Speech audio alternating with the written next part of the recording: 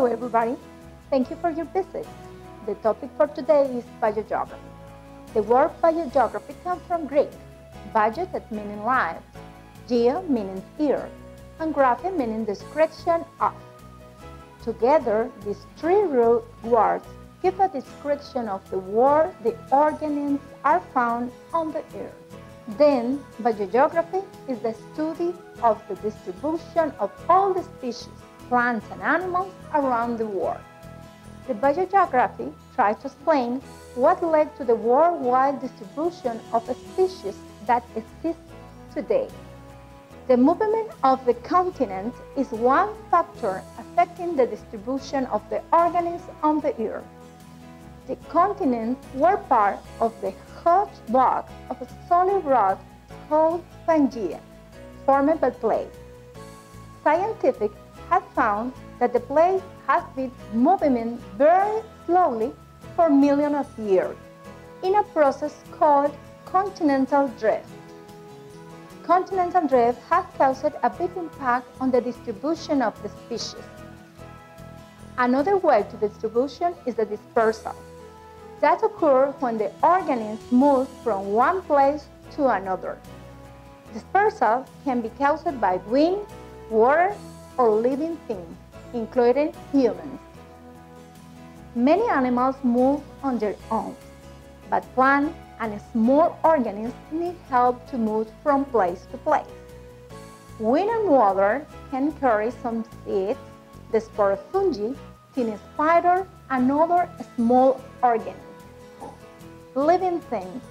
Organisms may be also dispersed by other organisms. Example, birds can eat some fruit in one place and deposit the seed in another place in its waste.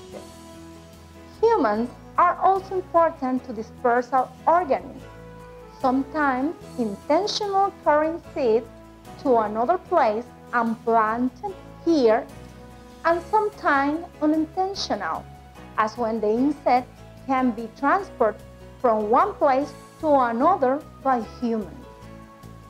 When one organism is carried into a new location, is considered an exotic species. There are some limits to dispersal.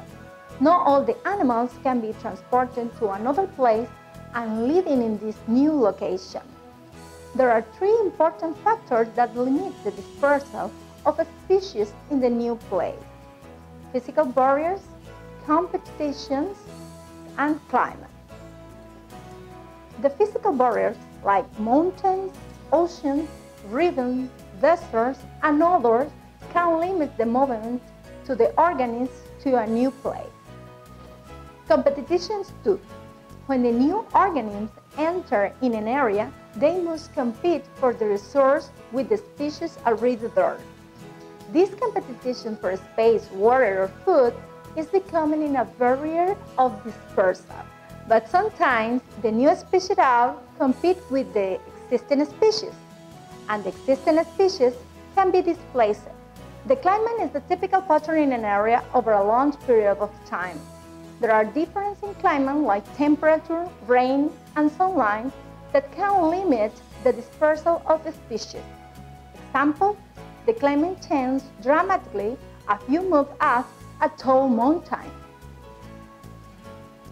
Then, the climate determines the distribution of the species in the different parts of the mountain. That's all. See you soon. Goodbye.